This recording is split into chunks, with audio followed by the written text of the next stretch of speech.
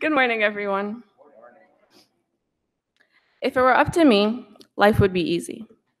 And I'm still not quite sure why it isn't. It seems so simple to me. We are put here to be kind and to learn from others. We've made it usual to be in distress, in pain, grieving, and full of guilt. When something bad happens to us, it's life, is how we cope.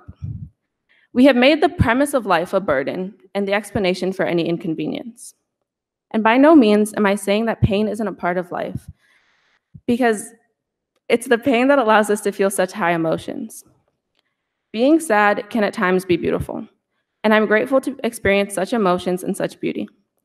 My experience at Brooks has been the farthest thing from easy, and now I realize that it was necessary. When I attended SDLC a few months ago, the head of the organization addressed us on the first day. What he said stuck with me. Sometimes you love something so much that you will continue to love it while it hurts you. I think this resonated with me so deeply because this is how I go about my life. And it took me a long time to see that. I'm often told that I love too quickly and care too deeply. I think that's bullshit. I truly believe that you cannot love someone or something too much. It was hard for me to understand why so many people told me told me this, but it was explained to me by a few friends. They all said that their first instinct when meeting someone is to put their guard up, to assume that that person has bad intentions and they're going to hurt them. It takes time for them to trust and see their true motives. I, on the other hand, am not like this at all. Despite being told that I have a RBF, I truly never think someone is going to harm me. Some call it naive, but I like to think of it more as cherishing every possible moment. When you wait for life to happen, you simply are not living it. Same thing when you meet someone. You're wasting possible good memories because you're too scared of getting hurt. I didn't always think like this, though.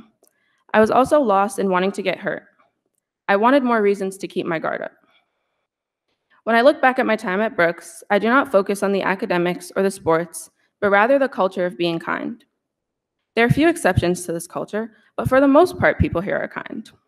I think about the connections I've made with friends, teachers, the dining hall staff, the cleaning staff, and I think back on the little exchanges that made me feel loved in a place that was at times not so loving. The times when people showed me that having my guard up was robbing me from being loved. Brooks can be a very hostile environment, and had been for a long time, until I started giving more of my energy to people who loved me. There have been people in my life who taught me how to love.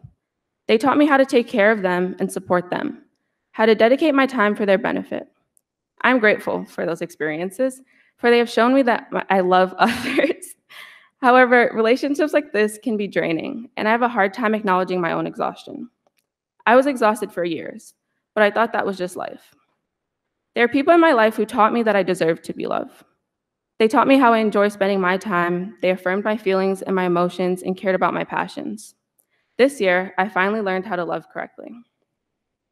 I learned from instances, unrecognizable to others but memorable to me.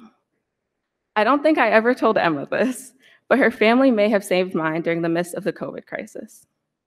In July of 2020, Emma invited me to stay with her family and her, her and her family in Sag Harbor.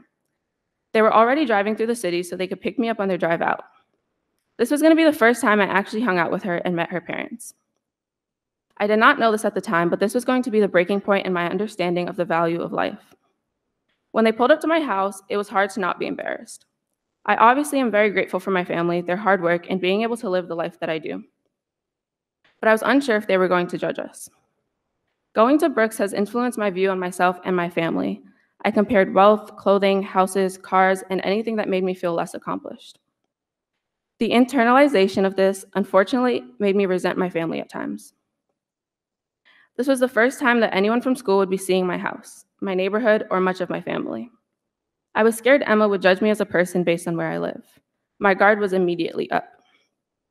Her dad, Michael, was telling my mom how he knew his way around the neighborhood and that we lived super close to his work. I was confused because I live in Jamaica, Queens, and what in the world can Michael be doing in Jamaica, Queens? he said that he's the chairman of the board of the company that runs a food drive a few streets over.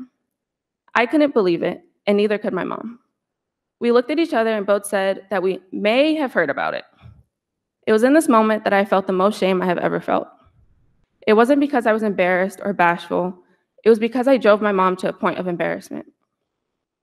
The truth is that that food tribe was at times the only thing feeding my family during quarantine. My mom couldn't work, and besides the inexpensive canned foods and cheap junk food, our only source of fruits and vegetables were from that food drive and other ones like it. Seeing my mom be filled with shame was heartbreaking. I'm so proud of her for making a life for herself in another country and being able to provide my sister and I with an incredible life. I hated that my internalization of comparison made my mom embarrassed. There's nothing that she should ever be ashamed for. I am grateful to be even half the person that my mom is. There were two things that this experience had taught me.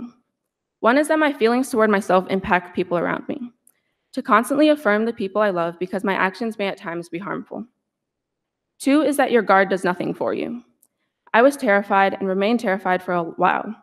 It was not until the end of my trip that I realized that I may have lost months of good friendship with Emma because of this irrational fear that I had. Through my three years at Brooks, all I did was compare myself to others. I saw a thing on Instagram before, before saying that comparison is the thief, the thief of happiness. And maybe that's why my first few years were rough. I was comparing myself to people's grades, their style, their art, and when I felt incapable of winning a comparison, I just gave up. Brooks taught me that until I was kind to myself, I was not allowing myself to accept others' kindness. Brooks gave me the opportunity to cross paths with people I wouldn't meet in normal circumstances. They put me in the right place at the right time. However, the school has been extremely difficult, and that's okay. I can't compare my Brooks experience with anyone else's. I loved this place when it was continuously hurting me, and I will continue to love it deeply. I am grateful for the unlikely friends that I have met the ones across the globe in Botswana and the ones 10 minutes away in Valley Stream, the ones in Wrentham or North Andover or Boston or everywhere else. My first love for Brooks came from the clear night skies. The stars are much easier to see here rather than the city, and it was beautiful. They make me feel small, and as if my problems are not big enough to compare to the size of the universe. Having people who genuinely care about you and live around the globe makes this place feel a little less lonely and the world a little smaller. If nothing else, I'm grateful for Brooks for making me feel small in a world of worry.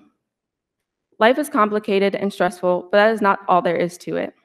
Allow yourself to meet new people and create these unlikely friendships, because it's those friendships that make life worth living.